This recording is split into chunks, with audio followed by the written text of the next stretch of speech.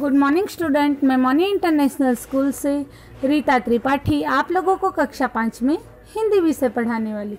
बच्चों, अब हमारी मौखिक एग्ज़ाम आने वाली है, यानी कि ऑरल एग्ज़ाम यानी कि मौखिक एग्ज़ाम उसकी तैयारी भी तो हमें करनी होगी ना?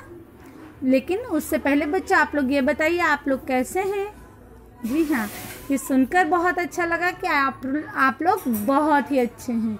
और बच्चों हमारी जो मौखिक एग्ज़ाम यानी कि ऑरल एग्ज़ाम होने वाली है, उसके अंदर मैं आपको एक कविता दे रही हूँ, जो कि हमारी किताब की ही कविता है बच्चों। वह कविता आप लोगों को समझकर याद करनी है और याद कर कर उसको, उसका वीडियो बनाकर हम तक आप लोगों को सेंड करना है, जिसके माध्यम से हम आप लोगों के मार्क्स रख सकें कि आप लोग जितने अच्छे तरीके से वह कविता याद करके समझ के बोलेंगे, उतने ही अच्छे मार्क्स आएँगे। तो चलिए बच्चों, आप लोगों को किस प्रकार से बोलना है?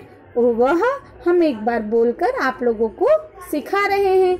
और ध्यान से सुनिएगा बच्चों, और बहुत ही अच्छी, अच्छे से, बहुत ही मीठी मीठी वाणी से अपना वीडियो बनाकर हम तक सेंड करना। चलिए, कविता नंबर बारह, हिमालय की सीख।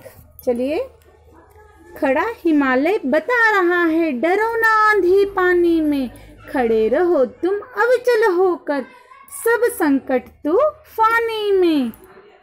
डिगो ना अपने प्रण से तो तुम सब कुछ पा सकते हो, प्यारे। तुम भी ऊँचे उठ सकते हो, छू सकते हो नभ के तारे। अचल रहो जो अपने पथ पर, लाख मुसीबत आने में।